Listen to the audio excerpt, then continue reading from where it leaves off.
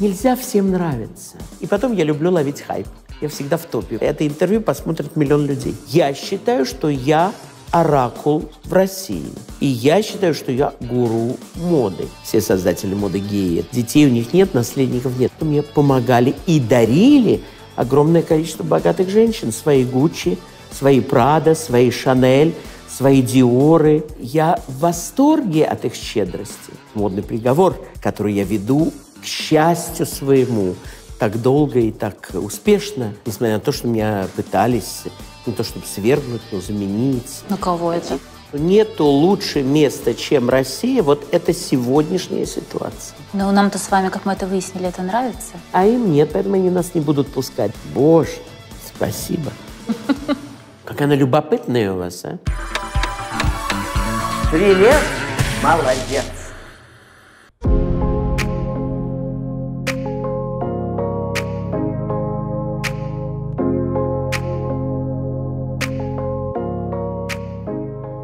Нулевые вообще такая, мне кажется, была самая уродливая Нет, пора в это истории. вам кажется по- из-за вашего возраста. Вы молодая. Я поэтому сейчас стараюсь все эти баленсиаги, все это не носить, потому что думаю, остромодный тренд, а по- со временем будет выглядеть странно. Поэтому я сейчас по Конечно. классике, все, все больше по классике. Привет, молодец. Вы знаете, часто моя ночь называется собачья жизнь. Знаете почему? Надо встать в три часа, потому что в четыре за тобой приедет автомобиль, потому что ты в 6 часов вылетаешь, потому что в 4 до 5 ты едешь до аэропорта за час, несмотря на то, что я в бизнесе, час. И затем в 6 у меня вылет. И затем я досыпаю там, шумел как мышь, дальше завтрак, что-нибудь. И это типичная моя жизнь. Называется она собачья. Но у меня есть собачка, черный мопс. И он разделяет мою жизнь. Но смотрит на меня, как на сумасшедшего. Когда он видит чемодан, что его опять собираю, что я туда какие-то носочки, какие-то ботиночки кладу, костюмчики. Зачем? Он уходит в сторону. Так вертит мне свои лапы у виска. Говорит, что у тебя за шило в одном месте в твоем Кардашьяне находится? А я все лечу и лечу. Сдаю новый материал, сдаю новую книгу, сдаю новый фильм. И, конечно, съемки модного приговора. Это все-таки ежедневная программа. Я надеюсь, что они будут длиться еще лет 20. Мне кажется, будут. Не иссякает знаете, любовь огромное народная. количество женщин хотят переодеться. И поэтому я сделал вот и интернет-проект, очень хороший, формула моды. Очень много у меня, несколько сотен там женщин записано. Им хочется, всем хочется переодеться. И из-за чего, я объясняю, из-за чего. Из-за того, что мало мужчин. Почему француженка никогда не переодевается? Не знаете почему? Потому что за нее охота всегда. В скандинавских странах так там вообще Да, там женщины да. в дефиците. Понимаете, да? Почему любая русская сиделка в возрасте 60 лет, или украинская, или молдавская, которая приезжает в Испанию ухаживать за пожилым стариком, выходит за него замуж в, 60, в 65 лет и остается наследницей дома? Сколько таких случаев? Не знали? Нет. Без конца, в Сицилию куда-то. Ну, правда, надо помыть старичка и покормить его из соски, подгузник поменять. Но зато им все остается. А как этому садовнику э, по Ив Сен-Лорану Да, все досталось? да. Вот это вообще уникальная история. Надо знать, кому садовникам идти. Ну да, они же, как вы говорите, у геев у них нет детей, нет э, А некому наследовать. А кому передавать? Племянники там какие-то, там что-то. А если племянник не очень-то? Ну, тоже верно, да. Поэтому, ну, да, как садовнику повезло, всем бы так. Я садовником родился, не на шутку. Рассердился, все цветы мне надоели, кроме... Александр, мы с вами познакомились в 2009 году, Могли. 12 лет назад. Мы э, с вами делали интервью, где вы выступали как футуролог моды. Не как историк, а как футуролог. Сбылось? Все сбылось, о том и речь. Почему я к этому интервью хочу обратиться? Многие пишут о том, что то, что я предсказываю, сбывается. Сначала не верят, глаза выпячивают и говорят, это так не может быть, так не будет. Потом все это, конечно, Вы сказали, что грядет эпоха матриархата. Но тогда слово феминизм оно было практически ругательным. Женщины хотели быть роскошными, мода была такая гиперсексуальная. Ну да, это была эпоха порношика. Вы предсказываете эпоху матриархата, говорите о том, что будет закат Европы и грядет азиатско-африканский стиль. Это будет такой глобальный тренд. Тогда никто даже не предполагал, что случится вот эта вся история с Black Lives Matter. Вы тогда это связали с э, президентством Обамы. В итоге мы сейчас переживаем а, Black Lives Matter, феминизм и Мало того, нельзя даже поставить фильм сейчас, если там не будет процент афроамериканцев. Нельзя поставить оперу или балет – во всяком случае в США, если там не будет... Анна Булейн теперь да. поется африканка, и в фильме тоже. Это сегодня реальность, и она продлится какое-то время. Вы помните, как полицейские в США целовали да, ноги. Э, песок, по которому ты ходила, да? Я готова целовать песок, по которому ты ходила. Вот это тот же самый случай. Но это реальность нашего мира – и мир уже никогда не будет прежним. Мой прогноз на сегодняшний день – пандемия не утихнет до 2025 года. Россия будет переживать пир во время чумы, праздники, вечеринки и радости, но за это нас никуда не пустят, потому что они считают нас главными разносчиками заразы из-за того, что мы не носим упорно маски теперь почти нигде – и позволяем себе набивать особенно спортивные стадионы. Сейчас же будет чемпионат по футболу. Я не в спорте, я не в спорте, но слежу, где все билеты проданы, можно уже собирать большие залы певцам, активизировалась ночная жизнь, справляются вечеринки, настолько гламурные, что даже Алла Борисовна Пугачева их с удовольствием посещает одну за другой. И это говорит о том, что нам это будет стоить по двойному тарифу. Они будут на Западе нам мстить сначала за Крым, потом за одного блогера, которому потравили трусики, затем за события в других странах, будь то Белоруссия или Украина, и в-третьих, за то, что мы теперь ведем очень роскошный образ жизни. Но я лично за роскошный образ жизни. Я, я тоже. Э, очень благодарю Господа, что я в настоящий момент моей карьеры нахожусь в России, а не где-то еще. Потому что я смотрю на всех моих коллег в Лондоне, в Париже, в Нью-Йорке, в Праге, даже в Риге и в Литве, они не могут выходить, у них нету спектаклей, у них нету выставок, у них нету концертов, у них все под запретом, рестораны закрыты, начну, а здесь просто праздник какой-то. Цыгане с медведями, все что угодно, или медведи с цыганами. Это просто удивительно. Эм, наверное, это правильное решение. Я не знаю, как это на э, болезни отразится, потому что все равно болезнь-то никуда не ушла. Не может пойти на спад, она может замениться чем-то другим. Может быть, э, уколы подействовали, я имею в виду вакцинация, но у нас в России сейчас очень праздничная атмосфера. А не кажется ли вам, что мы просто не можем поверить в то, что наша система здравоохранения вдруг оказалась лучшей в мире? Нам просто в голову не приходило, что такое может быть, но практика показывает, что, скорее всего, так и есть. А может быть, так и есть. Она была основана на очень сильной советской системе здравоохранения. Я допускаю, что так может быть, но не будучи э, врачом и не имея медицинского образования, я просто не тот человек, который может об этом что-то сказать. Хотя сам я переболел, и довольно тяжело. К вопросу о разнице э, лайфстайла нынешнего э, постковидного в Европе, Америке, во всем мире и у нас – я в январе была в Нью-Йорке. Конечно, они устали. Это видно по всему. Я, я мечтала уже прилететь в Россию, целовать эту плитку, которую перекладывают тут у нас каждый месяц. Потому что, конечно же, Москва сейчас единственный город мира, Я где согласен. есть жизнь. Мы вне зависимости от нашего желания станем центром европейской эмиграции. Я думаю, что к нам приедут французы, к нам приедут англичане, к нам приедут немцы. Вы же наверняка в коммунарке лежали, вы не платили за это. Нет. Это было бесплатно. Да. И в голове среднестатистического американца и европейца не укладывается, что да. можно бесплатно провакцинироваться, можно бесплатно вылечиться в больнице в целом в хороших условиях. Коммунарка говорят, я Шикарные была... условия. Это были шикарные условия.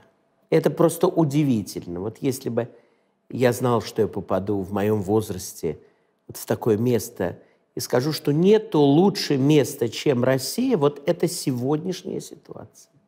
Так было не всегда. Но когда я вижу, как сегодня у нас работает система доставки, питания, такси, как дешево это стоит, как у нас обстоит обстановка с билетами, как, какие, какие они дико дешевые.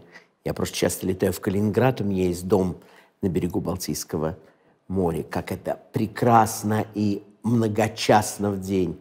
Это, конечно, огромные плюсы. Не все это понимают.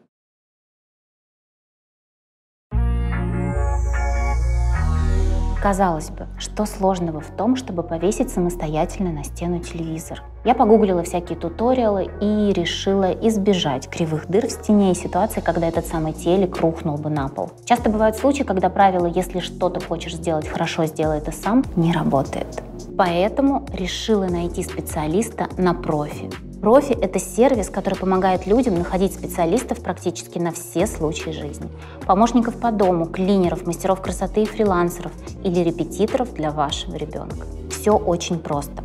Открывайте приложение, описывайте свою задачу, отвечайте на несколько уточняющих вопросов, указывайте дату и время. Выбор специалиста вы осуществляете с помощью просмотра анкеты и отзывов, а дальше самое интересное. Вы сами можете назначить комфортный вам ценовой диапазон. Да-да, именно так. Не бойтесь делегировать задачи другим людям, особенно если они это сделают лучше. Вы всегда сможете найти нужного вам специалиста практически из любой области на профи.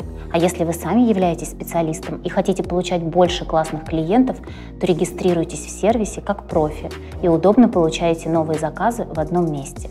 Ссылки на приложение в описании этого выпуска. Рассказать кому-то, что частный коллекционер, как я, да, хорошо, президент фонда, да, фонда огромного. Во время пандемии в одной взятой стране, да, огромной, самой большой в мире России, может иметь столько выставок. Боже, спасибо. Но в свое время вы как раз по этой самой причине, что э, наша страна не была лучшим местом в не, мире не для проживания, вы э, эмигрировали да. во Францию. Вы много раз рассказывали эту историю. У вас был фиктивный брак с француженкой, который помог вам там оказаться. Но брак, который был, э, как бы сказать, задействован. Мы жили в одной квартире, спали в одной кровати. А даже так? Да. Другое дело – что, может быть, я не испытывал чувств. Но потом я позднее поумнел и понял, что брак, любовь и секс – это три разных человека. Вы никогда с этим не сталкивались? Я как старалась всегда примирить это все. Если это у вас совпадает хотя бы в двух позициях, например, брак и секс, будьте счастливы. Или если у вас где-то совпадает любовь и секс, тоже прекрасно. А сколько браков, где нет никакой близости, вы об этом никогда не думали? Вы, э, я насколько знаю, не любите вот стиль хай-тек и ми- минимализм да, в интерьере. я предпочитаю хай-так. Это какой? Не хай-так будет. Не хай-так будет? Хай-так. Но вам нравится вот прям классика, чтобы ну, это что было значит классика? Я люблю только старинные вещи. Я просто не пользуюсь современными вещами. У меня нету... Э, у меня много домов. Я э, горделиво говорю, что у меня шесть домов и квартир. Но я в разных странах причем но я никогда не буду обставлять ничем современным. У меня музыкальная гостиная, зеленая гостиная, кабинет, столовая, гостевая спальня, константинопольская комната, разные. А что у вас Другая... находится в константинопольской комнате? У меня старинная османская мебель. Я очень люблю Константинополь, много лет прожил там. Э, счастье мое, что я знаю мир – лучше, чем многие люди, из-за того, что я жил э, в мою бытность, когда я жил только в Париже, я все время путешествовал, тоже заработка ради, творчества ради. Долго жил в Гонконге, в Японии, в Сиднее, в Сантьяго, в Чили. Ну, кто это еще может вам сказать? В Константинополе, в Анкаре сколько лет, во Флоренции, в Венеции. Ну, просто есть Лондон сколько работал, в Рейкьявике сколько работал. Мне повезло вот именно из-за этих путешествий узнать мир, языки, культуру и э, поставить меня ради меня на определенный уровень. Ну вот если дома интерьер типа такого от пола до потолка... Я бы тут не жил. Тяжело, как в студии вам. Я бы не жил, но я обожаю, что такие студии есть. Мне очень нравится Москва, и из-за этих культурных возможностей, съемок, кабинетов, бесконечные лофты. Оказавшись в Париже, как раз вот попали вот в эту ситуацию рестораны, бутики, э, культурная Свет. составляющая. Тогда же все было в иллюминациях. Париже. Это сейчас Москва вся в иллюминации, все в подсветке. И это один из самых подсвеченных городов в мире. Когда вы едете мимо Кремля, мимо храма Христа Спасителя, мимо мостов, у нас все в огнях. Дешевая электроэнергия, понимаете? Много денег. И Париж был такой. Светилась Эйфелева башня, светились площади, светились бульвары. Я был поражен. А я выехал из очень темной Москвы, где фонари были каждые приблизительно 100 метров – тусклым светом, не горела ни одна витрина, не, не было ни одной подсветки. Это была друга, другая эпоха. Было темно, плохо пахло, не было кафе, было очень трудно одеться, если это не черный рынок, и не фарцовщики, или не самострок. И действительно был плохой транспорт общественный, например. По часу на морозе заждали автобуса – о такси вообще никто тогда не говорил, хотя они существовали. И потом они вдруг шли втроем, один за другим. И я спрашивала, а почему вы вдруг втроем? Он говорит, да домино закончили играть. Не понимаешь, что ли? Это была реальность такая. Действительность. Метро хорошо работало, мы все передвигались на метро. Было очень тепло в метро, потому что было холодно часто. Метро мы очень любили зимой покататься. Ну, вы как, э, вы как эстет, аристократ. Да. Вам наверняка действительно вся вот эта вот советская реальность, она для вас была э, гнетущей. Не скажите, потому что в это время в Москве жило очень много дворянских семей. Еще были семьи реальных москвичей, настоящих москвичей, э, у которых были дореволюционные родственники, близкие, у которых были, правда, коммунальные квартиры, но обставленные сплошь старинной мебелью, не купленной в антикварном магазине, как сейчас, не отреставрированной сейчас, а та, которая принадлежала их мамам, бабушкам, прабабушкам, прадедушкам – я видел дома с фамильными портретами. Это сейчас я не вижу. Одна из причин, почему вы вернулись, вы говорили в одном из интервью, что это великое счастье говорить на родном а, языке. Это первое. Во-вторых, я, главная причина, почему я вернулся, потому что у меня скончалась здесь мама. И я приехал в последние дни ее жизни. И, во-первых, я находился в трауре, я еще раз могу повторить. И, во-вторых, я входил в наследство. Вы знаете, что это такое входить в наследство? Вас Бог миловал. Да, пока Но это от полугода до года бумажной волокиты. И как только я сюда приехал и находясь в трауре, мне сразу предложили работу. Мне сказали, вот пока вы сидите здесь, в Москве, давайте мы вам предложим. Мне предложили сначала декор интерьеров. Я сразу стал немножечко подрабатывать, потому что всегда, всегда было необходимо, и были большие траты, не скрою, в это время – Затем мне предложили на канале «Культура» продолжать вести программы, потому что они у меня были еще и в 2000-е годы очень успешные. И э, я начал сразу мою выездную школу. Это то, что меня кормило до пандемии очень хорошо. Я вывозил э, состоятельных в основном женщин э, во Францию, в Италию, в Великобританию, в Испанию, в Португалию, в Марокко. И в основном это были, конечно, путешествия, посвященные моде, стилю интерьеру. И у меня училось 2500 человек. Э, это было увлекательно, было прибыльно, не скрою, и это было э, очень свободно душе. Потому что я все время видел картинку другую, когда я с ними улетал в Чили или в Аргентину, когда я с ними улетал э, в Ирландию, когда я с ними улетал в Копенгаген.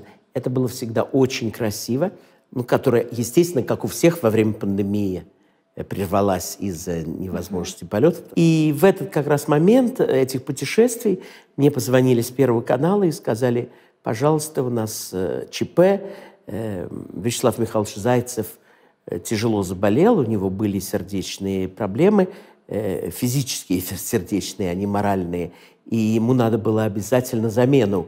И я вступил 12 лет назад в модный приговор, который я веду к счастью своему, так долго и так успешно. Моя дорогая, это не игра.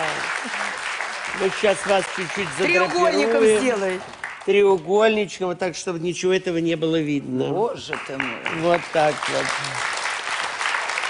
Моя милая, милая бандерша, атаманша.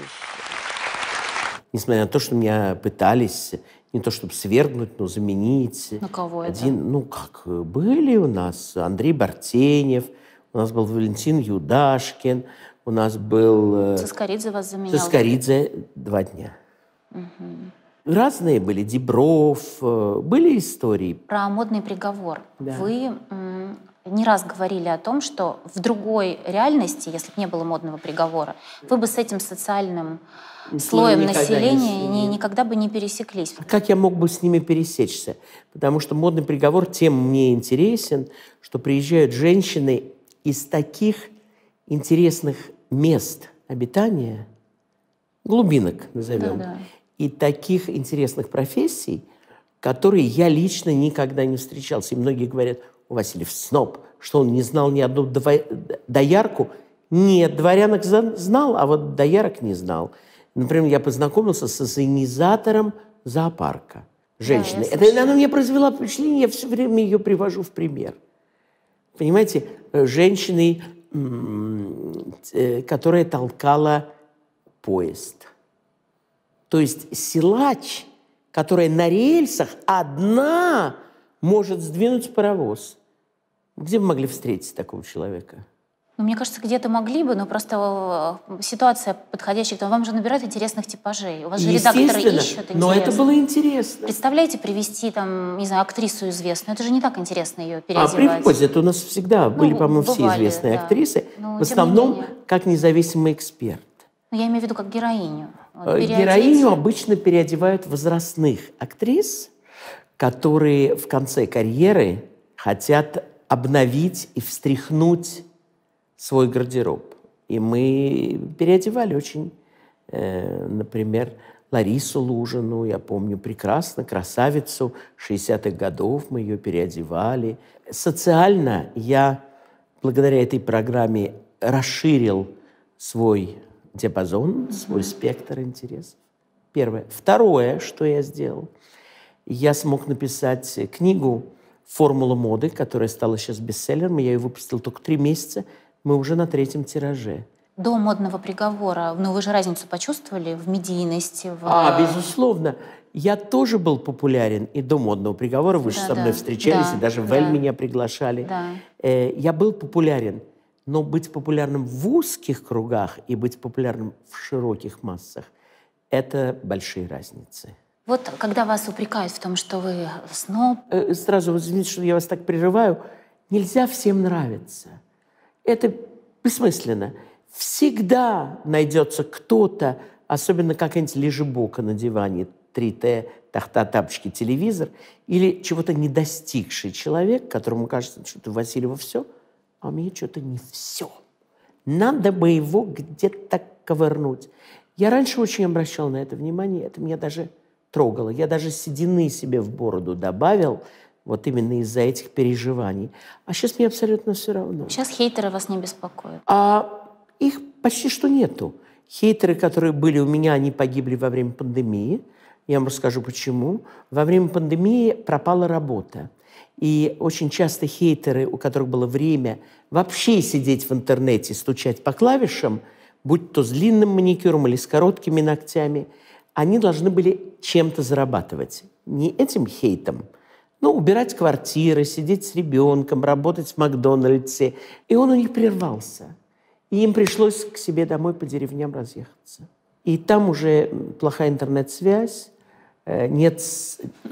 Нарушена связь с центром 17 мгновением весны. уже им не, не, нету социальной среды, которая им позволяет собирать сплетни.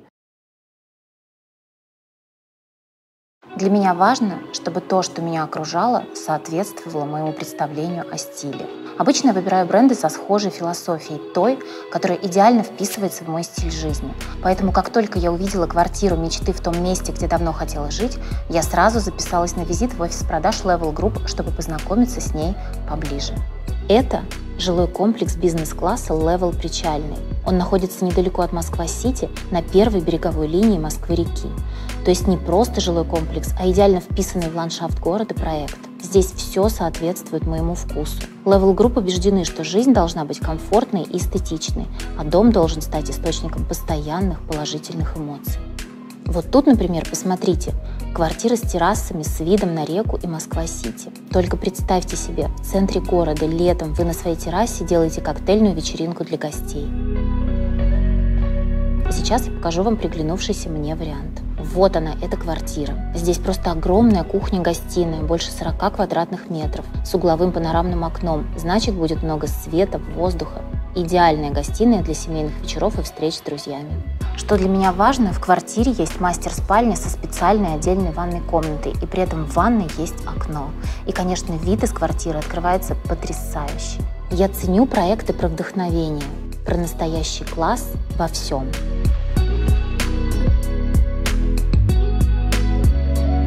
В Level Причальный невероятные виды на реку и Москва-Сити, на здание МГУ, Высотки на Смоленской и Кудринской площадях. Я ценю возможности для выбора. Здесь 80 вариантов планировок, в том числе редкие форматы. Три варианта отделки, включая дизайнерскую в двух стилях – классик и модерн, черновую и white box. Левел причальный – это идеальное сочетание work-life баланса в жизни.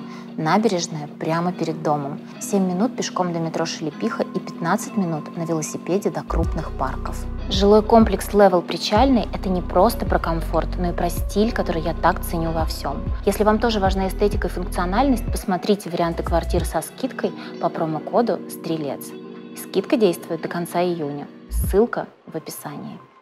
Вы иногда своими высказываниями, у вас иногда, случаются иногда даже эпатажные. Вы однажды сказали, «А, богатые женщины мне более интересны, они лучше одеваются, Конечно. у них лучше вкус, Конечно. и вообще они прелесть. И я и повторю. Конечно, они мои кормилицы. И я никогда это им не скрывал. Может быть, в этом моя честность.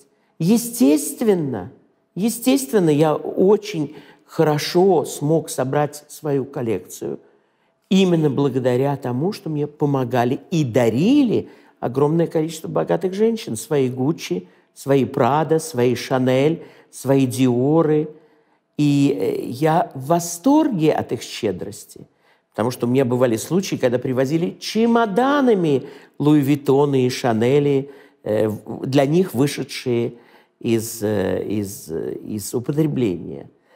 Больше всего, я даже могу вам сказать, больше всего подарила Сати Спивакова, Надежда Бабкина, а дальше телеведущая Первого канала Андреева – Катя, которая... Катя. Все ее Катей называют, потому что она, она не стареющая. Она привела, э, передала, может быть, два чемодана Шанели и других ценных вещей. У меня есть в России несколько потрясающих, добрых, широких душою женщин, которые мне подарили очень большие коллекции, которые я постоянно э, показываю на выставках. Потом, конечно, очень многие кинозвезды – ну, в основном после их ухода.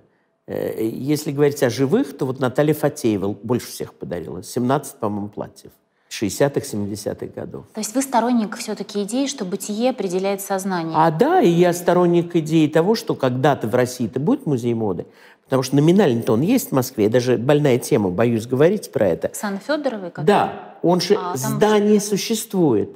Но а выставки... что там происходит? Там же нет каких-то выставок. Во, все, вы уже ответили. Вы, спасибо вам, вы меня лишили необходимости мусолить эту тему. Там нет выставок. Но там э, музыкальные вечера, потому что она красиво поет, имеется в виду. Она оперную сейчас подходит, проходит подготовку. Просто это, не, на мой взгляд, не совсем профильно. Я считаю, что можно и хорошо петь, можно йогой заниматься. Можно много чего делать, но есть профильное задание. Музей моды – это музей, который должен собирать исторический костюм, не современный, потому что это не галерея моды, исторически делать тематические выставки, актуальные в этот момент. Вот я бы, например, сейчас бы делал мода и пандемия. Вот я бы и рассказал бы, как в разные века мода отвечала на пандемию. В средние века, в эпоху испанки в 1918 году, сейчас, в эпоху японского гриппа. Это было бы интересно, на мой взгляд. А как вам кажется, а, в России, а, в стране, которая, ну, у которой после 17 года сложные с модой были взаимоотношения, и сейчас сложные, и сейчас сложные, насколько этот музей будет востребован? А очень, он... потому что вот все выставки, которые я лично делаю, они э, привлекают огромное количество людей. Расскажу, почему. Э, я часто в интервью повторяю одно и то же. Мне говорят, Васильев бубнит одно и то же. Но статистика такова, мужчин у нас на 11 миллионов боль, меньше, чем женщин. И между женщинами большая конкуренция. И женщины чувствуют недосдачу в области люкса, моды, красоты. Когда они смотрят на старинные платья, мне говорят, мы даже не знали, что так можно одеваться. Ой, такие у них были маленькие ножки. У меня очень много волонтеров, причем очень много русских волонтеров, которые живут в Англии, во Франции, в Германии. Это жены, скучающие во время брака с иностранцем. Знаете такой типаж? Mm-hmm. Да, да. Которые хорошо вышли замуж и уехали в небольшой э, городок, муж им позволяет жить и не работать, но чем бы заняться ради души? Вот есть кто, Васильев. Давайте для него найдем биографию немецкого художника, чья картина у него в коллекции, а он биографию не нашел. И они очень любезно мне присылают эти информации. И я очень благодарен моим э, волонтерам за то, что они мне просто помогают жить. Я хочу при жизни сделать музей, чтобы это все-таки оставить.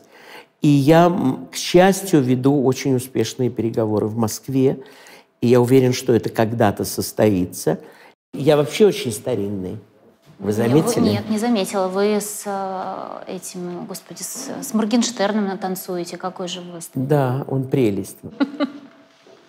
Первый канал решил омолодить сразу два проекта, да, аудиторию более молодую. Естественно. Моргенштерн, как к нему не относись, он сейчас номер один. Ну, вот прям. Да, он очень популярен. Но это мой сын, поэтому это меня не удивляет. Это, кстати, шутка Гузеевой. А сейчас это разлетелось. Я сегодня перед интервью ребятам рассказывала. Говорю, вы видели, как они похожи? Вы очень похожи на Александра Васильева, который тоже ведет культовую программу на Первом канале «Модный приговор». А что, папа, Но вы да? с ним похожи. Вот эта челюсть квадратная, разрез глаз. Посмотрите, смотри, смотри, ну смотри. это же просто...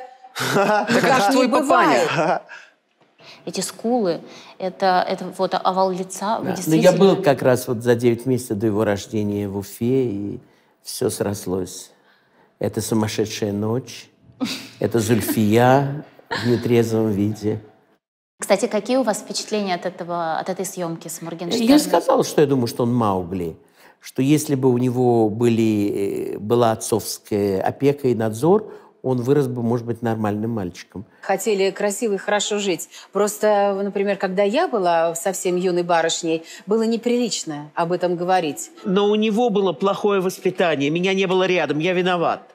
Но он не умеет себя вести ни за столом, ни с людьми. Постоянно причесывался? Причесывается и ест очень неаккуратно, капли, все хватает руками. Он все время матерится, все время, видимо, у него какая-то неудача с девушками. Он все время Э, и на «ты», э, спрашивает что-то такое, а ты девственница, а ты не девственница. А ему-то зачем это знать? Про вот эту историю с переодеванием в модном приговоре доярок и людей э, того социального класса, с кем вы никогда раньше не пересекались. А теперь вообще вряд ли бы я с ними дружу, они мне огурцы приносят, творожок, пирожки. Я получил столько подарков от них. Как вам кажется, вот вы их переодели, а, Будут ли они так ходить, да. понятия не имею. Ну, скорее же всего. Что... У нас нету дрона, который будет летать над их домом и смотреть, как Мария Ивановна выходит в нашей юбке или в чужой. Есть национальное какое-то вот ДНК. Итальянцы, французы, у них это насмотренность, у них, возможно, это даже генетическая какая-то история. Вот, например, ну, на примере той же Грузии, которая сейчас так выстрелила, вот и Дэвид Кома, Гвасалия и так далее. Ну, то есть, и вообще грузинская неделя моды, она сейчас котируется, это она считается высока. одна... У меня, конечно, свое объяснение. Ни Италия, ни Франция, ни Грузия никогда не погубили свою аристократию.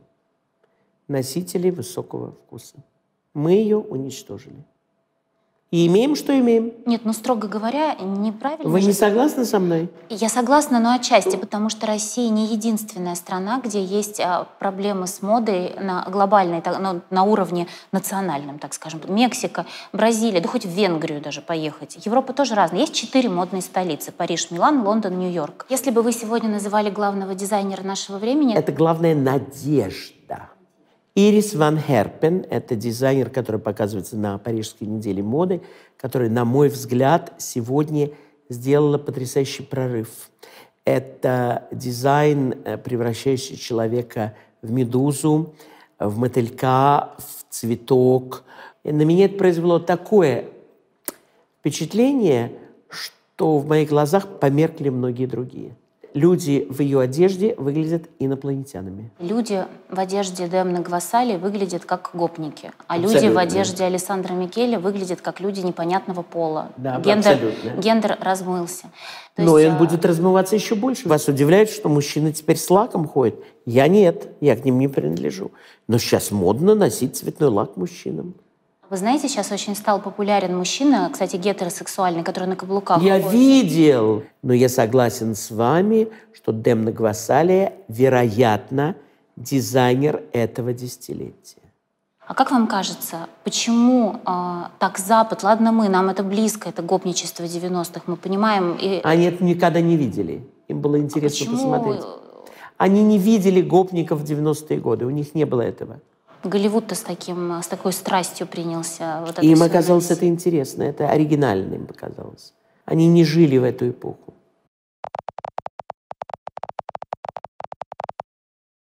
Главные вехи в истории моды. Начало 20 века. Главные вехи этого времени – это, конечно, изобретение рентгеновского аппарата. Изобретение рентгеновского, которое помогло сфотографировать женщину в корсете и узнать, насколько эм, тяжело было носить его в отношении внутренних органов, где находилась печень и селезенка, сжатые в корсете. И все началось, конечно, не от решения дизайнера, а от медицинского изобретения, которое, конечно, вызвало гнев феминисток, очень ранний гнев феминисток и желание изменить. Затем после Поля Пуаре его снятия жесткого корсета, замены его на грацию с резиновыми вставками. Это начало русских сезонов Дягилева и приход цвета после неврастеничных цветов модерна, бежевого, голубоватого, розового, сероватого, дымчатого, взрыв оранжевого танго – ярко-зеленого, изумрудного. Все эти цвета э, вбегают в моду э, нового силуэта с завышенной талии и порождают интерес к Востоку, ориентализм – главное направление 13 года, и все бы развивалось дальше, если бы э, не Первая мировая война. В 11 году Полю Пуаре удалось показать свои модели в России – побывать на блошином рынке в Москве. И это очень важная дата, потому что это был первый французский показ моды в 20 веке у нас в стране от известного дизайнера. И начало интереса к русскому стилю в моде было положено именно Полем Пуаре, который создал свою коллекцию «Казань».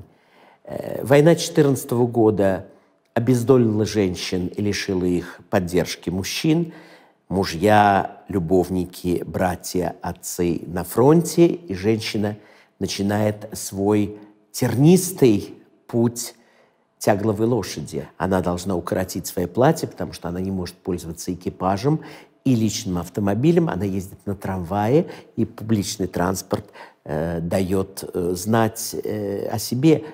Укороченные платья – это символ войны 14-18 года, а затем освобождение, приход, собственно говоря, э, мужчин или то, что осталось от этих мужчин с фронта, и борьба женщин за мужское внимание, раздевание, вся мода 20-х годов направлена на соблазн. И не забывайте, когда вы 4 года войны ничего не едите, у вас нет комплекса полного тела, потому что все женщины в это время были очень костлявыми, очень худощавыми, поэтому мода 20-х годов – это мода эпохи Гарсон. И, конечно, прибытие русской эмиграции, начиная с 19 года, массовое вливание стиля а-ля э, в моду не только у Пуаре, у Пакена, но и у Ворта, но и у Люсьена Лелонга, и Шанель у Шанель, конечно, и у множества других дизайнеров. Просто в 20-е годы Шанель не была такой, таким значимым дизайнером, которого его сделали в 60-е. Но это не важно. Крах 29 -го года, разрушение финансовой системы, выживают только дома спортивного направления. И только после 1935 -го года возвращение люкса, как э, выраженное в мехах – и в гламуре. Гламур нам пришел из Голливуда. И э, коллапс Европы в 1939 году. Начинается Вторая мировая война, милитаризация общества, подкладные плечи, платформы из-за бомбардировок всех дорог и необходимостью э, носить удобную обувь, которая не промокает успех э, укороченных платьев, потому что чем меньше мужчин, тем ближе женщина к раздеванию. Приход Бальмена в 46-м, Диора с Нью-Луком в 47-м, эпоху тонких талий. Я э, хотела два слова, чтобы было, может, более понятно, какую революцию совершил Диор. Он, по сути, возвращает ну, этот самый корсет. Он э, возвращает корсет, но он дарит женщинам женственность после стиля военного, потому что вы одеты так, как одевались во время войны. Хэбберн одевалась. Вот да, типа во время войны, да, широкие брюки, широкие плечи. Вы не обращайте внимания на мою женственность, я могу быть мужчиной, я могу быть строгой, если надо. И это действительно его революция, и ткани, которые наполнены цветами, вышивки, которые э, наполнены кружевом, э, все то, что говорит о женственности. Смерть Диора в 57-м, Э, приход трапециевидного силуэта в 1958 году от Ив Лорана, это уже начало моды 60-х. Вот 60 он был богат, очень богатый был э, десятилетие. Хиппи все это убили. Даже Клин Кеннеди стала главной иконой стиля. Относительно все. Э, можно так сказать, что Марлен Дитрих, а можно сказать, что Грета Гарба, Гарба можно сказать, да. что, Марлен, что Мерлин Монро. Это уж как посмотреть. Для кого-то ну, ну, можно так сказать, в, 30, 30-е была Марлен да, Дитрих, да, да, в 40-е, да. наверное, там Кэтрин Хэбберн, в 50-е да. Мерлин Монро, в 60-е уже да, была Жаклин да, Кеннеди. Да, Жаклин все. Кеннеди, да. И, соответственно, возвращение Шанель в 1954 году, возвращение ее костюма, Леди Лайк, который так э, прекрасно этот стиль промоутировала Жаклин Кеннеди, мини от э, э, Мэри Квант, металлические платья от Паку Рабан. Это революция после полета в 1963 году Валентины Терешковой в космос. И э, все бы было очень хорошо и очень футуристически развивалось, если бы не проклятые хиппи. Make love, not war и э, flower power, все это приводит к тому, что э, никто не хочет футуризма, никто не хочет другой планеты, все хотят мира, любви здесь, на Земле, а не на Марсе, где будут яблони цвести.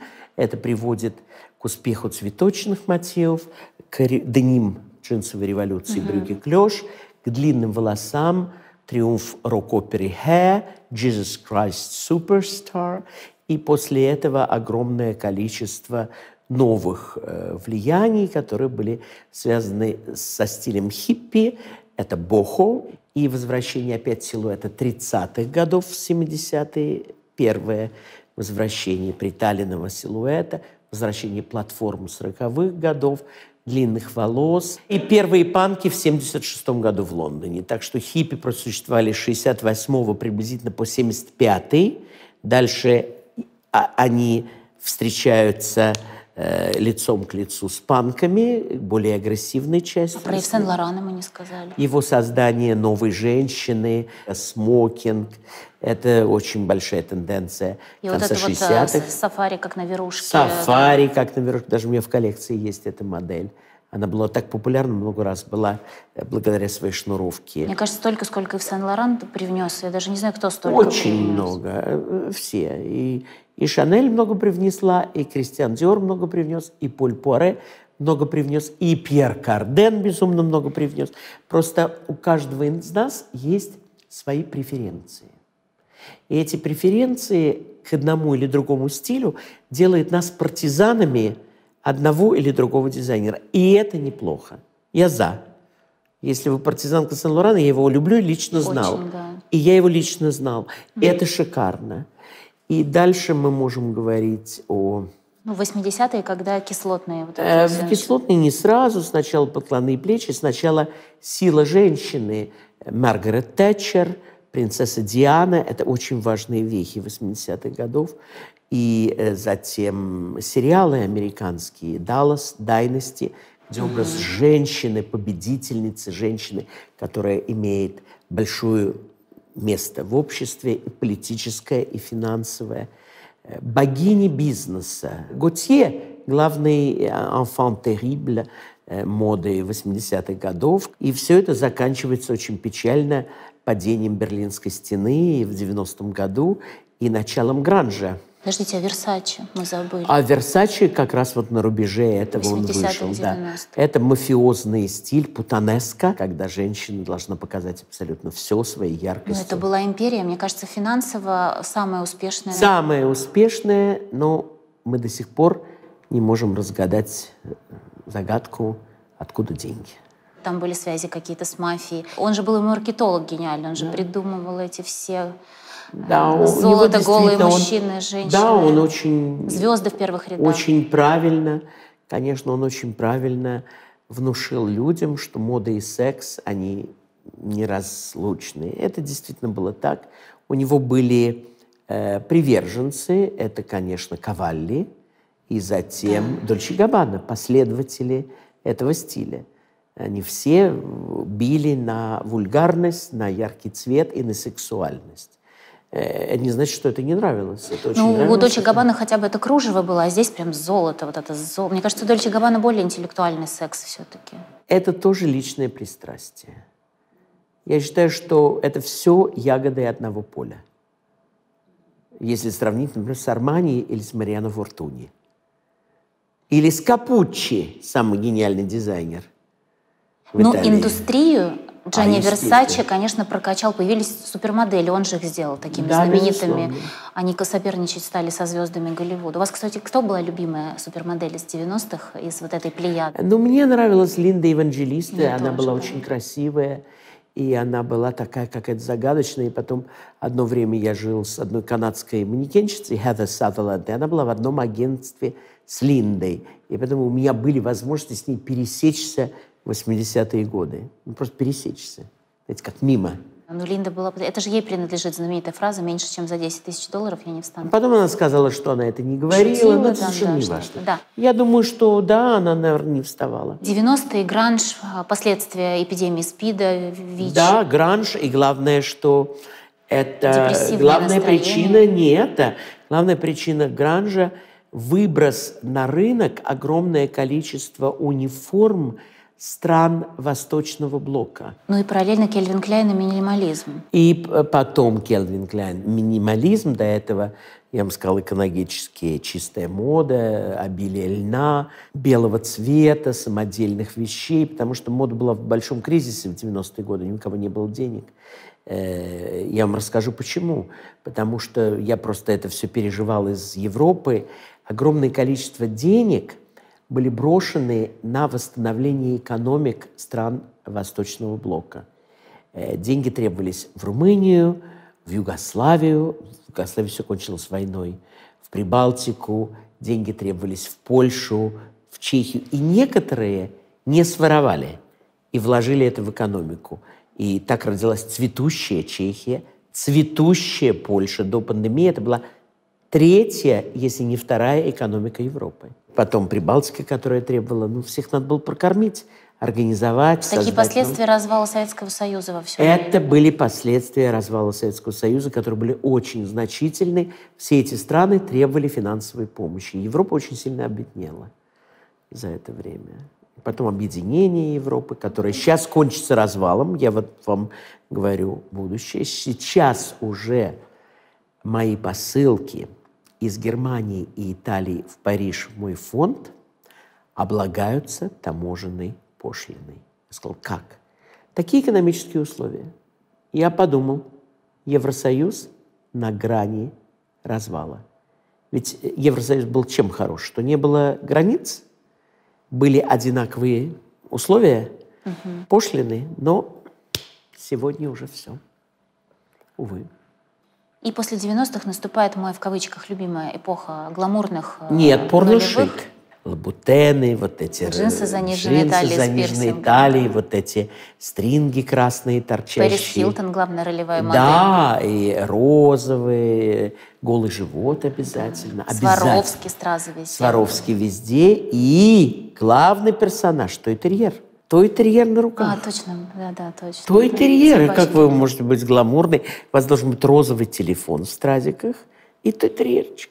Не кажется ли вам, что вот десятые годы уже вот в 21 веке... Они уже были, они уже покачнули Все, ни, ни одной новой был, не было идеи. Дальше э, мы, э, э, абсолютно вот эта вся ретроспективная история. Согласен с вами, но оценить десятые годы мы сможем только в 30-е. Я вам объясняю, почему. Мы слишком близки, они только закончились. У нас еще нету исторической призмой и перспективы. Ни один стиль не получал название в ту эпоху, когда он существовал. Потому что это была эпоха такая гипсокартонная. Даже креативным директором бренда становится хороший стилист, который берет и миксует Прекрасно, и адаптирует эпохи. Но эпоха, ничего не сочиняет. Как эпоха десятых годов называется? Вот никак. Вот. Но вот это название в 30-е годы будет придумано. Угу. Его кто-то из критиков моды метко окрестит, и это название очень хорошо прилипнет. Поскольку, как мы уже выяснили, мода, она сама по себе не появляется, она идет в связке э, Абсолютно. с социально-культурными явлениями. Истории. Поэтому вы и историк моды, и отсюда же вы футуролог, потому что анализируя ну, да. то, что было, и социокультурные явления, которые сейчас происходят, которые случатся, mm. вы прогнозируете как оракул, что нас ждет. Mm. Во многих интервью вы уже говорили, что нас ждет сейчас, будет усиливаться вся эта история homeware, домашняя да, одежда. это я уже говорил раньше. И это уже дело явное – много лет назад я говорил, что мусульманская мода победит. И она победила везде. Она уже победила, потому что все бежевые цвета, все блеклые цвета – это цвета мусульманского Востока. Триумф зеленого цвета. Не только потому, что я сижу в нем, но вся мода на зеленое, потому что вы тоже зеленый, это любимые цвета мусульман. Вы никогда об этом Нет, не думали? Нет, я не знала, что я думала красный, наоборот. Нет, это цвет ислама. И он победил. Если мы отправились так, э, с нами обращались как с настоящими Аллах, Аллах, Аллах, Лайла, Иллаллах, Мухаммедин, Расулулла. Все эти молитвы надо знать уже наизусть, потому что они пришли близко, и Европа, э, ну, в большей части уже под властью мусульман. Франция, э, Великобритания, Германия, Бельгия, бедненькая, пропавшая.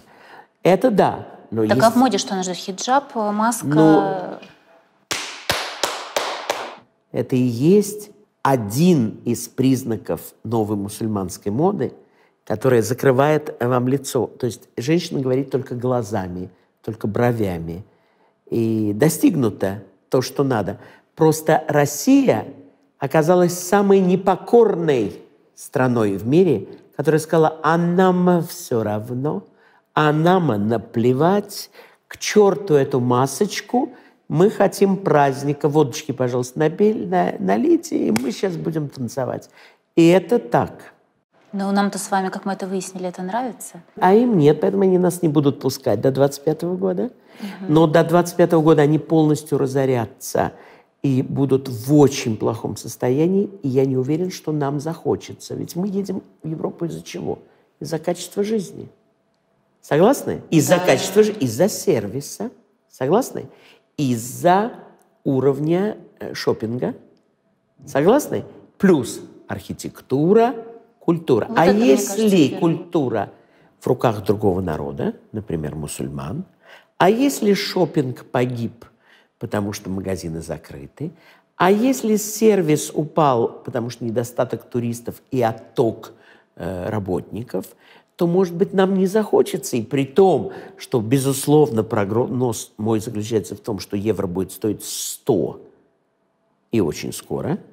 Он не будет падать, будет подниматься. И нам это будет даже очень дорого. Только небольшой процент россиян, сильно богатых, скажет, да что мне стоит, я поеду сейчас вот миллиончик разменяю евриков и буду кутить. Будут ли его там любить? Не будут его там любить в Европе. Но он будет желанным гостем, потому что он будет все покупать, что он может скупить. Но вы видите, как много людей, которые купили дома в Марбее, Валенсии, на Лазурке, которые имели прекрасные дома на Сардинии, э, в Лондоне, они не могут даже туда ездить и очень многие из моих клиентов, я имею в виду моих учениц, они говорят, ну, дом-то стоит, мне, конечно, пишут, что там все хорошо, но я не знаю, я уже год не ездила. А вы знаете, что в Европе, если беженцы заселятся в ваш дом, потому их что не выселишь пустой, потом. Их не выселишь. Да. А вы думаете, что они, не, как говорят в России, не прочухают, что есть дома богатых русских, которые стоят пустые? Нет? Прочухают, наверное. Браво. И, конечно, это будет урон. Э, дальше, эм, то, что унисекс победит, я не сомневаюсь. То, что очень много мужчин через 10 лет возьмут очень много женских привычек, например, маникюр. То, что сейчас нас удивляет... Наш Моргенштерн любимый. Ну, не только ним, он. Да. Э, то, что нас сейчас удивляет, это будет почти повсеместно новое поколение. Конечно, старое поколение это не будет делать. Но новые, вот те, которым сейчас 15, а им будет 25, они будут такими.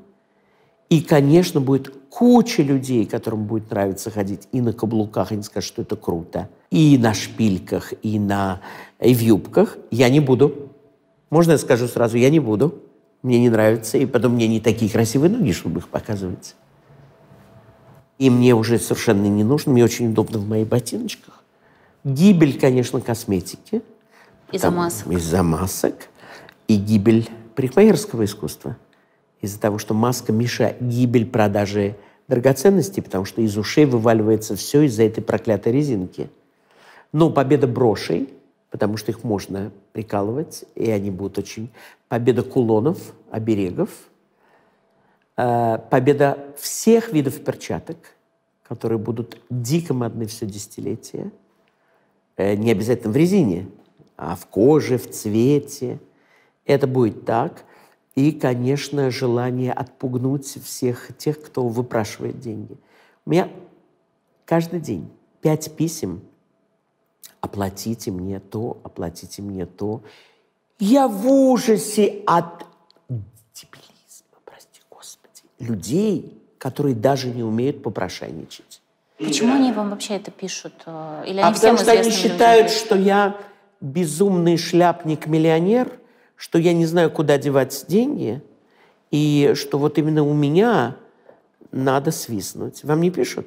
Не, ну, мне только помогите детям там на, на какие-то болезни. Я еще такой, я не тертый калач называется. А я тертый калач, э, меня критикуют, почему я не хочу дать три миллиона евро, три миллиона на уколы девочки. Не могу, потому что меня нет. И она мне не родственница. Он говорит, соберите для нас. Тоже не буду. У меня есть другой ребенок, музей моды. Мне говорят, Василий, шмотки гораздо важнее, чем жизнь бедного ребенка. А я не знаю вообще, есть ли этот ребенок. А мой, мой музей мне важен. Потому что он останется, а ребенок неизвестно. И мне все говорят, почему он про это говорит? Как ему не стыдно? Он не гуманен. А я гуманен. Потому что у каждого свои интересы в жизни. Можно же это допустить. И потом я люблю ловить хайп. Я всегда в топе. Вот я это интервью посмотрит миллион людей. У вас есть очень интересная мысль по поводу того, что после того, как основатель бренда умирает, угу. то и бренд должен умереть, и креативный директор туда приходить не должен, ничего возрождать не должен. Но по такой логике уже бы не было ни Шанель, ни Диор, ни Баленсиага, ни кого угодно. И А порой... Я уверен, что я прав, потому что Балансиага не существовал очень долго. Это же не бренд Балансиага в основном, это имя куплено. Бренд погиб, э, если я не ошибаюсь, он закрыл в 69 году. Потому что он, когда пришли хиппи, он сказал, я больше не хочу. Мода умерла, и он был абсолютно прав. Высокая мода точно умерла тогда. И бренд выкупили. Я сейчас могу запутаться в датах, но в середине 80-х годов. То есть как, как РФ. Помните историю с да, РФ? Да.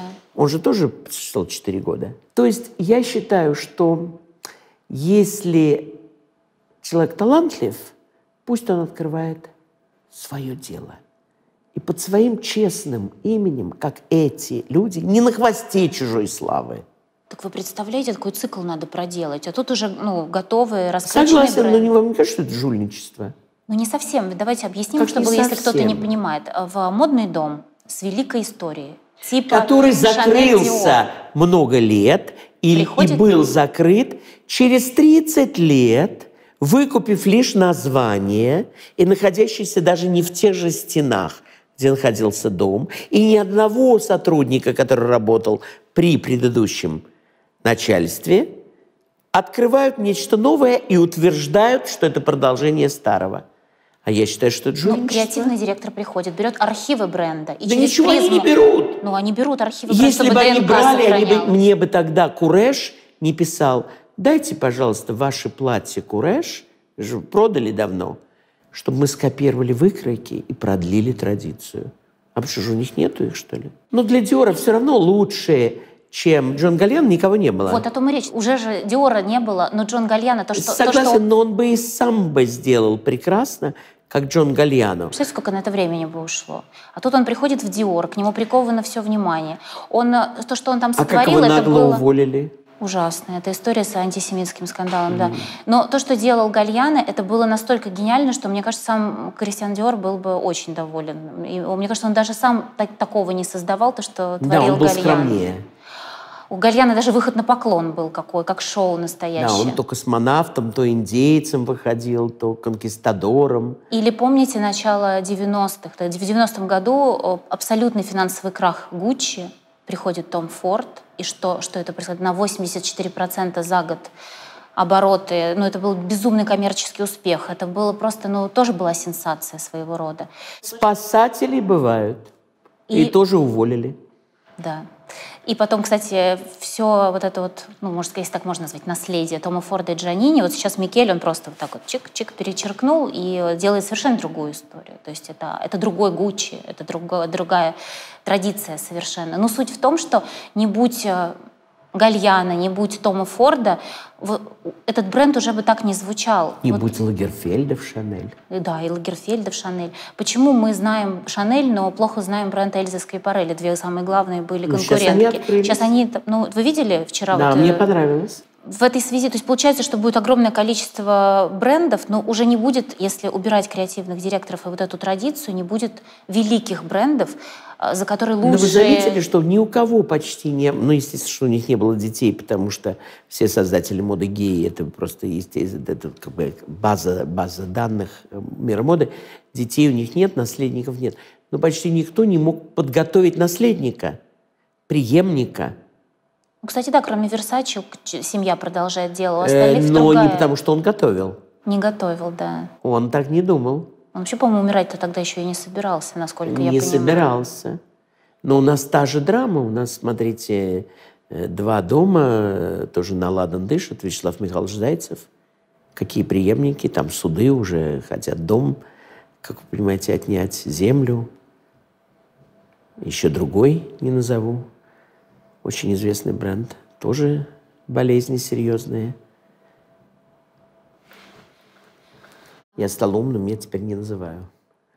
Кстати, э, к вопросу, лучше. к вопросу о том, почему в основном э, дизайнеры э, геи, великие а дизайнеры. Вы не знаете? Ну, я думаю, скорее всего, потому что мужчины потому гетеросексуальные была... видят Нет. женщину не так. Ну, естественно, мода была придумана геями. Мода ненужная вещь. Сама идея моды – это выдумка определенного эстетического взгляда. А этот эстетический взгляд бывает только у группы мужчин. Или у женщин, но они тоже так же настроены. Только мужчин замечаем, а в женщин не замечаем, да? Кстати, очень многие стилисты говорят о том, что как только они берут звезду, переодевают ее, и она становится модной, то в этот момент она начинает говорить, ой, я перестала быть сексуальной. Обычно примирить моду и сексуальность, кроме там Диора в 50-е, да. И... Или Версачи 80-е? Да. Ну, Версачи такая, так, такая мода была. Но у Тома Форда очень, мне кажется, неплохо получалось. Это было прям и шикарно, и сексуально. Но вообще мало у кого это... Особенно для мужчин. Но вообще обычно это очень тяжело, это не, не, не как говорят, не мэтчится. То есть и либо ты легко быть иконой стиля, когда ты там Леди Ди ну, или да. Одри Хепберн, а вот когда ты Мерлин Монро, уже иконой стиля тяжелее быть, потому что это такой секс прям нарочитый. Или Мэй Уэст. Или Мэй Уэст, да. Которая была ее Гораздо там... интереснее. Это, оно... Гораздо мне интереснее, чем Мерлин. Хотя Мерлин я нахожу очень талантливой артисткой, комедийной, очень талантливой. Ее никто как актрису обычно не, не воспринимает, и зря. Она очень красивая, сексуальная э, женщина. Но она талантливая, драматическая актриса. Если говорить об иконах стиля... Конечно, не такая талантливая, как Бет Дэвис и Кэтрин Хэбберн. Или Грета Гарбо. Или Грета Гарбо, да. А если говорить об иконах стиля, которых мы уже обозначили, то есть икона стиля – женщина, которая в свое время, в своем поколении определяла, ну, то есть была таким флагманом, на который женщины равнялись, ролевая модель. То есть помимо Греты Гарбы, Жаклин Кеннеди, которых мы уже назвали, вот Леди Диана, кого бы вы еще выделили? Вот кто вам кажется прям безупречно одетая женщина, которой можно было бы равняться? Литвинова? Ну, у нас она одна такая. Она одна, но на такую огромную страну. Это хороший знак и плохой. Да. Это хороший знак, что есть, и плохой знак, что только одна. Икона стиля, а не икона моды. Это разные вещи. Если говорить... Икона моды, Яна Рудковская, икона моды. Потому что она очень следит. А вот, кстати, вот почему так получается? Вроде бы и кутюр, особенно Диор, там, кутюрные, все это так роскошно, но очень ругают ее за избыточность, за... Ой, я, можно, не буду проноси... Э, произносить. Вы долгое время вели колонку в еженедельнике. Каждую где, неделю веду в семи днях. Где вы разбираете луки звезд. Да, И очень часто и критикуете. Вот я... И часто и, и хвалю. Я очень справедливо рассказываю. На мой взгляд, понимаете, это же все очень индивидуально. Я считаю так. И я считаю, что я оракул в России. И я считаю, что я гуру моды. Другие считают иначе но они должны представить their credentials. А что у них есть за кредиты? Где они учились, какие книги они написали, где они преподавали, где их заметили и как их наградили. Очень жестоко в этом смысле. Но... Говорить можно все. Доказательства, пожалуйста, их правоты. То есть мне так кажется. Ну, кажется, перекреститься. Сейчас огромное количество молодняка и особенно актрис и сериальных, и несериальных, которые одеваются очень прилично. Я просто слежу каждую неделю за каждой красной дорожкой. И их образы стали много лучше, чем то безобразие, которое было в 2000-х, 2010-х Но они наняли кто-то умный, нанял себе стилиста. Правильно. Там Именно Ходченкова с Катей Мухиной работает. Правильно. И мало того, у многих стали лучше фигуры, лучше прически они э, лучше обувь, лучше аксессуары. Это реально большое изменение. И если раньше я был таким ярым критиканом и считал, что они одеты очень плохо, я считаю, что сегодня они одеты часто лучше, чем их соперники. Ну, конечно, их соперники гораздо более знамениты. И они гораздо более знамениты, потому что у них мировая слава. У наших артистов практически ни у кого нет мировой славы даже маленькая известность у тех, кто снялись в небольших ролях в Голливуде, не является мировой славой. Согласны? Да, конечно. У нас Но... просто наши артисты не имеют э, хождения мирового. Хотя есть красивые, да, талантливые, да, хорошо одетые, да, хорошо играющие, фотогеничные, да. Но это язык. Русский язык же никто не понимает. Если говорить о, о тех девушках, кого мы в глянце включали всегда в списке самых хорошо одетых э, женщин, это, как правило, были э, Светлана Бондарчук, Ксения да. Собчак, Паулина Андреева. Софья Эрнст, которую сейчас все очень многие обсуждают. Ну, она очень модная. Может быть, да. она, конечно, да. по поводу того, какая она актриса, там да. это один это вопрос, разные, но выглядит да. она очень хорошо. Кетти Тапурия, есть куча разных певиц и артисток, которые очень... Как зовут эту артистку, бывшую стюардессу, певицу с иностранным именем? Зиверт. Потрясающе. Прекрасная, согласна. Зиверт, да. вот вам пример. А Мирослава Дума, вот она была очень популярна. Она очень популярна. Я не хочу, чтобы она меня убивала. Ростом мелковато. Рост имеет значение, если да, речь о рост, моде Да, идет? конечно. То есть э, дев... низкого роста девушкам труднее быть иконами стиля Да. все-таки. Если говорить о модных западных девушках, я вам хотела несколько фотографий показать, которых весь мир обсуждает. Карди Би, знаете такую? Ну, покажите мне. Покажу сейчас. Я могу их и не знать. Очень, Я не э, очень слежу. Очень сейчас э, Ну, популярна. прекрасно. Цвет хороший. А почему ее не? Конечно, ее будут всегда изучать. Она же все-таки э, африканской расы. Да. Ну, естественно, что ее будут, ее будут хвалить. Ким Кардашьян, например. А я Ким очень люблю. У нее же не настоящая попа. Вы знали это? Да, ну это... Не настоящая попа. И, и, и я считаю, что прекрасно, что у нас есть артистки с настоящей попой. Еще побольше. А у Ким фальшивая. Она, это прекрасно, что она из пятой точки сделала столько денег. Я преклоняюсь. А вы ее феномен понимаете? Почему так э, она стала из такой трэш, э, по- порно, порно какой-то там реалити-шоу девушки пре- превратилась в номер один звезду в Америке? Э, Она представляет национальное меньшинство. Ее поддерживают армяне. Я думаю, поэтому. А армяне очень сплоченная нация, как и евреи. А вам не кажется, это связано с нарушением пропорций, что женщинам надоело вот это вот стремиться 90 Может быть, может быть, это с Size Plus связано как-то. И вот еще одна девушка, сейчас ее называют самой модной девушкой Америки, Какая? Хейли Бибер. Она, кстати, очень любит Баленсиага. Ну и прекрасно. Полный оверсайз. Да, причем у нее фантастическая фигура. Ну, э, Америка же большая страна, там тоже должны быть стильные люди. Кто самая модная сейчас в Голливуде? Зиндая. Пока она этого Лоу Роуча, стилиста, не встретила, до 2011 года она одевалась чудовищно. И вот бах, вот, это вот этот стилист полностью меняет ее Ну, слава образ. богу, что она и нашла она хорошего стала святого сейчас человека. прям великолепно выглядеть. Погодите. Но самое интересное и наш феномен заключается в том, что мы с вами сидим и обсуждаем американских звезд. Вы когда-нибудь слышали о национальной программе в Америке на английском языке, чтобы они изучали и обсуждали хотя бы три русские звезды? Нет, ну у них э, ситуация другая. Их звезд знает весь мир, а мы не знаем ни А почему бразильских так звезд, случилось? мы не знаем ни китайских Почему звезд. так случилось, что мы не могли э, продуцироваться на весь мир? Это же Ни у одной другой значит, страны в мире так не получилось, кроме США. Почему британских звезд изучают, Мы все равно их так хорошо французских звезд изучают, итальянских звезд изучают? Ну вот сегодня какая итальянская актриса популярна? Моника Белуччи. Ой, она уже, вот как вы скажете, с той войны дореволюционной. Правильно, но ее все равно изучают, и я, Я уверен, знаю, что у них да. есть еще несколько. А американских мы знаем, каждый, каждый день они появляются. И Ну, потому что они делают большую пропаганду своему искусству и вкладывают в это деньги.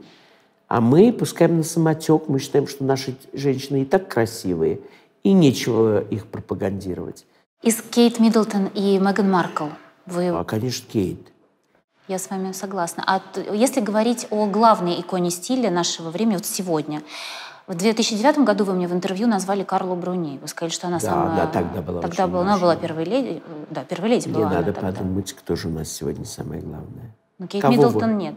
Но она одна из самых популярных, да. Я думаю, что пандемия подкосила очень сильно рейтинг всех звезд. И я думаю, что вот пройдет это время, и через годик мы можем подвести итог. Но Сейчас очень трудно. Как она любопытная у вас, а? Про Меланию Трамп. Не кажется ли вам, что сложное отношение к ее мужу помешало ей стать иконой стиля Тем не менее, она была дико популярна. И за ней очень следили. Она никогда не была большой-большой манекенщицей, знамени... супермоделью, как Бруни. Бруни была все-таки суперстар. Но Трамп была очень хороша, мне нравилось. Сейчас будет это безумно популярно. Э, Как зовут женщину, которая вице... Камала Харрис? Да, и ее племянница, красавица. да, да. Как ее зовут? Мина Харрис. Вот ее очень сейчас пиарит и находит ее дико стильной. Я про глянец, собственно, хочу. Как вам кажется, почему... Мне было интересно в Воге, но интереснее было в Харперс. Я же в Харперс вел угу. колонку до этого. А почему было в базаре интересно? Которые назывались, по-моему, «Шпильки». «Шпильки», да. Э, я э, работал с Ариной Розовой и писал знаменитые «Шпильки» под псевдонимом Халинка Дурсовна. Они пользовались бешеным успехом. Это были юмористические колонки про моду. Это было прекрасно. А в Воге мне все время навязывали сюжеты. Было тяжело. И сюжеты часто меня не интересовали. Может быть, они в окне интересовали. Это расскажите про каблуки, напишите про собачек. Там были какие-то такие темы. То есть они меня не использовали как знатока Конденаст, как знатока Вога, как знатока истории, как аналитика моды, а как, э, знаете, какого-то средней руки журналиста, который сейчас им сенсационно расскажет о тенденциях сегодняшнего дня. Это делала Алена, хотя она моя приятельница. Но я думаю, как-то необдуманно она это делала. Как вам кажется, почему глянец утратил свои позиции? Потому что пришел интернет. Все-таки соцсети. Конечно, новости после показа в тот же день у вас в телефоне. Согласны? А в журнале через месяц-два. Но... Это уже не интересно. У них как бы, знаете, как бы не разогретые рагу. Они нам про моду рассказывают с диким опозданием. Но, тем не менее, вот глянец делает обложку, и все равно пока еще в соцсетях все друг другу пересылают ее вот диджитальную версию. Еще и пока что это обсуждают. Раньше обложка глянца это значило очень много. Какие были влиятельные Долецкая, Хромченко, там даже еще в середине нулевых. Их решение могло вершить судьбы. Э, Хромченко дала сколько имен, там даже Газинская. Она подарила очень Газинская, много. да, и так далее. Очень многое вышло из Очень много. И надо сказать, что она очень любила русских дизайнеров. И сейчас любит. И в своих соцсетях она очень их промоутирует. Это большой плюс. Спасибо, Евелина. Кстати, дружите, да? Я считаю, что мы дружим. Э, я считаю, что у Евелины, естественно, свой характер, но и у меня свой характер, у нас у всех свой характер. Я думаю, что пандемия не позволила ей очень много выходить, потому что она не, не хотела выходить. И хочет все время в маске до сих пор. Это плохо потому что она не читала лекций, не хотела справлять свой юбилей недавно прошедший. Но это ее выбор. Ведь это ее здоровье, в конце концов. Это мы рискуем, а она не хочет рисковать. Я ее понимаю. Вообще, критиковать других людей – это бессмысленное дело. Мы же не в их коже. Мы не можем знать, что движет ими. Я бросила эту идею критиковать. Потому что я только Э, настолько стал эгоистичным, что меня только интересует я, я, я. Потому что я понимаю, больше это никого не интересует.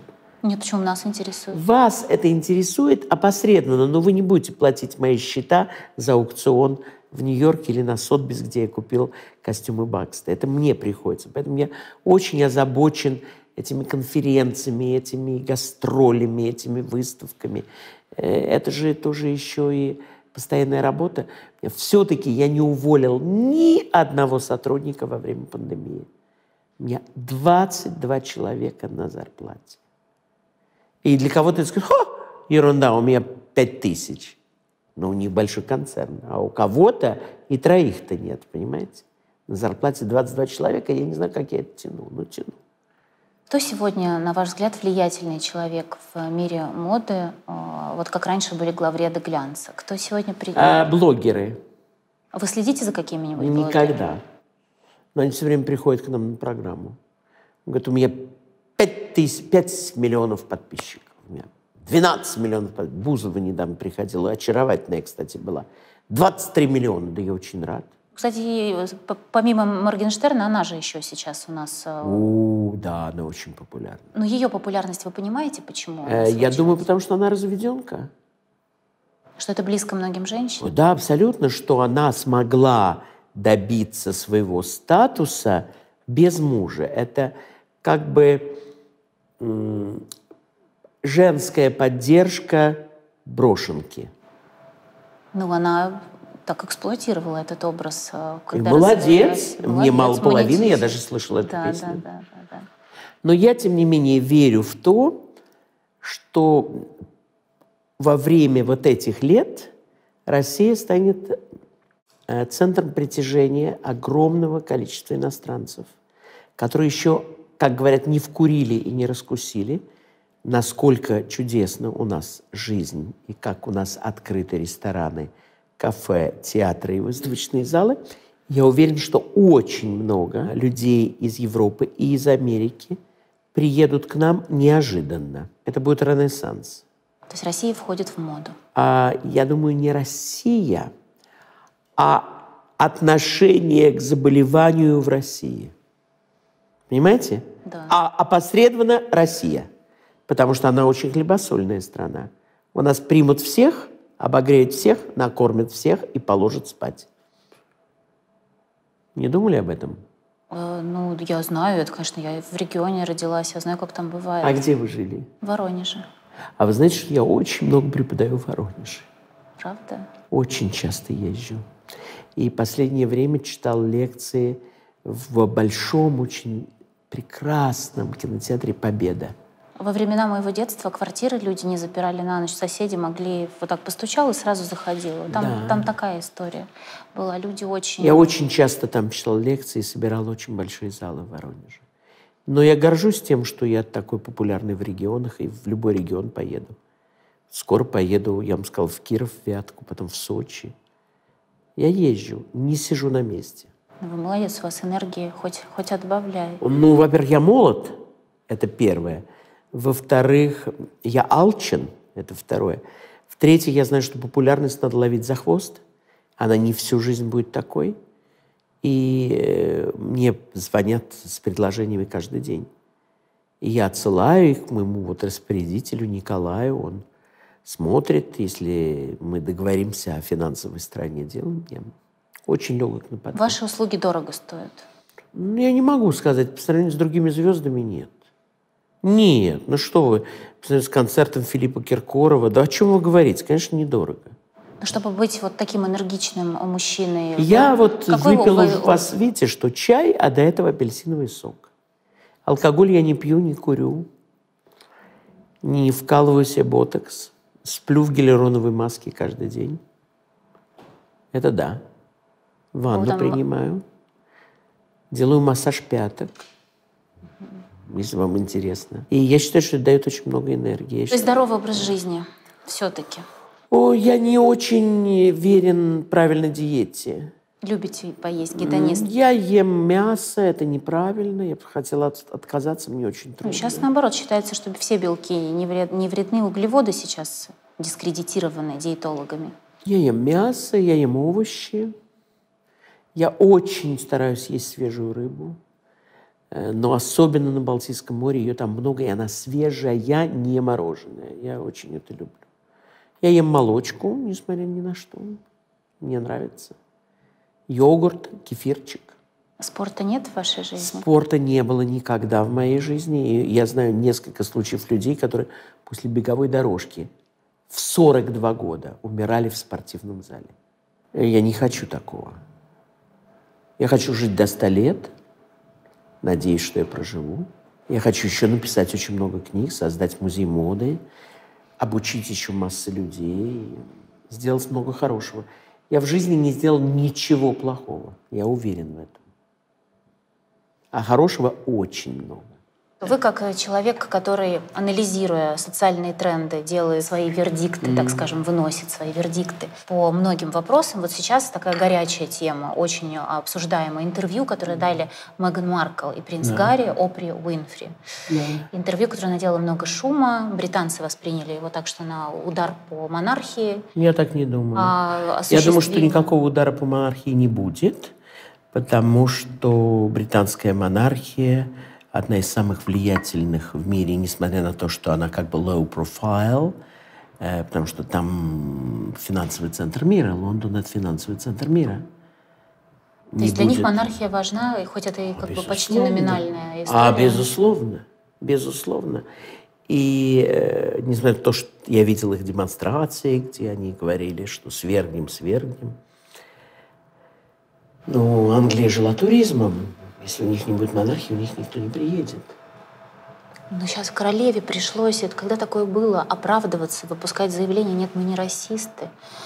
Это, ну, репутационно все-таки как-то подействовало. Американцы вот там все поддерживают, скандируют, э, поддерживают Меган Маркл. Мне кажется, что она поступила не совсем умно. Скажу вам почему. Она знала, за кого она выходит замуж. И она должна была знать, что такое дресс-код, что такое социальная обязанность члена королевской семьи. Ее приняли, и она должна была, мне кажется, подстраиваться. Но ведь она актриса не самых первых ролей. Далеко. И ей э, выпал лотерейный билетик сыграть более значимую роль в ее жизни. Но она не хотела играть, потому что ей показалось, что это сидеть на штрафной скамье подсудимых э, вне тайма. Тем более, что это второй сын, соответственно.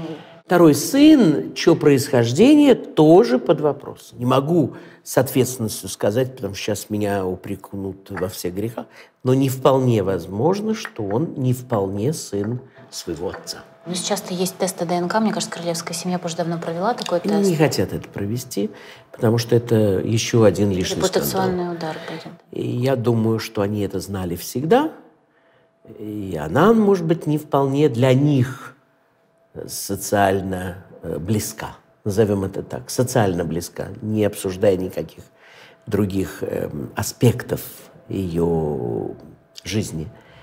И я думаю, что она совершенно им, в общем, не понравилась. Но они счастливы за Гарри. Харри в хороших руках, красивой женщины, да, амбициозной женщины, да. Но ее ждет судьба Уоллес Симпсон, которая увела британского монарха и сделала его герцогом Виндзорским, минус бриллианты и минус элегантность. Уоллес хотя бы была элегантной женщиной со стилем. А Меган нет? Не успела. Она не успела быть замеченной в этом. Ну, до того, как она вышла за него замуж, у нее действительно был чудовищный стиль. Ну, так она не была модной девушкой. Но сейчас ей как-то его там поправили. Она сейчас как копирует принцессу Диану. Дай бог ей счастье. Ну, как вам кажется, не повли... это вот история, которая сейчас такой резонанс, она, Мне она никак не повлияет на нашу жизнь, Ой, на. Вы знаете, я, я не хочу быть злым э, вороном. Э, мой прогноз – это кончится разводом.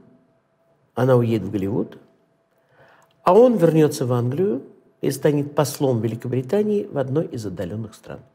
А прав я или нет, мы узнаем через 10 лет. Зная то, как вы в 2009 году матриархат предсказали, я боюсь, что это будет правда. К, к несчастью для Меган. Спасибо. Спасибо вам большое. Всем. С вами можно говорить 4 часа 5 и не наговориться. Брат его примет. Его бы не отпустили. Но так как они знают, что он сын другого мужчины, его отпустили. До новых встреч. Всего доброго. До свидания. Привет, молодец.